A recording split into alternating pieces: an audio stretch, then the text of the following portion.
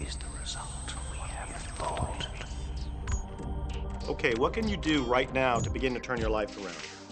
I'll tell you two or three things. Start making a list of things to be grateful for. Start with that because this shifts your energy. It starts to shift your thinking. Where before this exercise, you might be focusing on what you don't have, and you might be focusing on your complaints, and you might be focusing on whatever the problems are. When you do this exercise, you start to go in a different direction. You start to be grateful for all the things that you feel good about. Gratitude is absolutely the way to bring more into your life. Every man knows that when his wife's appreciating him for the little things he does, what does he want to do? He wants to do more. It's always about appreciation. It pulls things in, it attracts support.